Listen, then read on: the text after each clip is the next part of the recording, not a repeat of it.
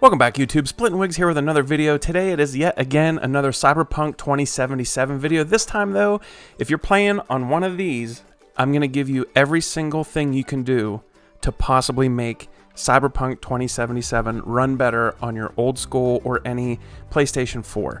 Um, I came across some new things and some stuff I've covered on the channel already, but I'm going to kind of put it all into one video here to kind of give you the best experience possible on one of these old school systems. Uh, it's going to be everything that I might have covered that's for free, and then we're going to get into something later that actually does cost a little bit of money, but will drastically improve a lot about your PlayStation for sure, not just with Cyberpunk 2077. So please be sure to stick around and, uh, you know, and listen to everything that I go over here. But right out of the gate, we're going to cover kind of what I did in the other video right here on the screen now.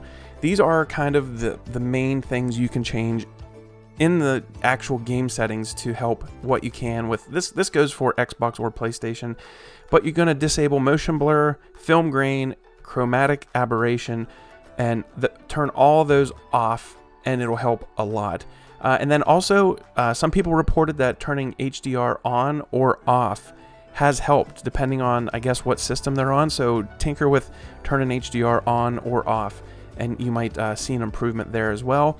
And then as I said in the other video, you know, your TV itself or the settings on your TV can be drastically changed to help improve your situation too. You know, with uh, brightness, uh, especially with uh, your uh, black levels, because of whenever it's nighttime, that's when most people have their biggest issues. Is uh, whenever you're in uh, Night City and it's night, it's it, it's really tough on the system. But outside of that, that's kind of your only options when it comes to just doing settings. The rest of the stuff I'm going to cover will take a little bit of work on your end, but it will make huge improvements. And uh, you know, the the first thing that we're going to talk about is right here. You're going to want to you're going to want to clean your PlayStation. It, you would be surprised how much this helps. I'm not kidding. Don't just skim over this part. Like on the back of your PlayStation here, there's these two little tabs you take out, and then you'll see the screws that are on your screen right now. And all you do is you, you pull these screws out, you flip it upside down, and then you'll um, take off the plastic cowling, and then you're going to see your fans. It's, it's, it's really, really easy.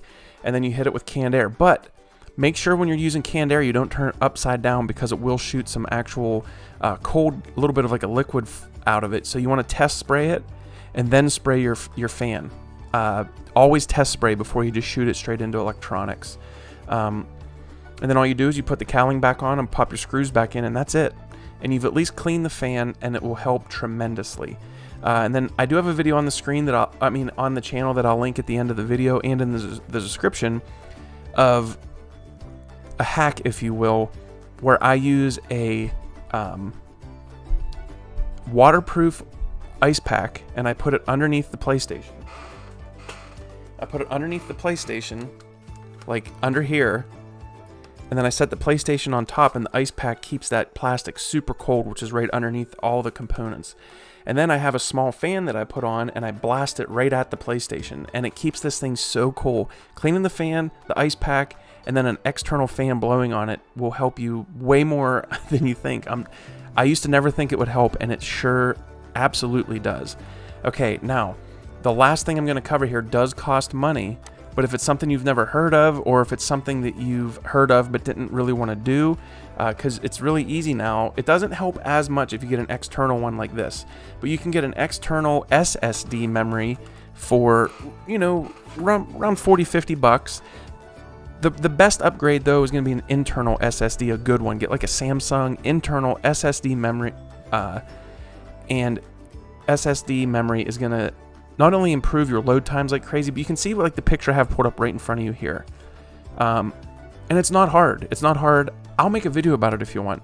I'll literally pull mine out, show you how to do it, put the screws back in, and show you how to do it if you need me to. Just let me know in the comments. But anyway, if you do get anything out of the video, please like it. it helps out the YouTube algorithm a lot. Uh, and if you want be sure to subscribe. We're on the road to 400 by January 1st. That'd be so sweet if I could hit that.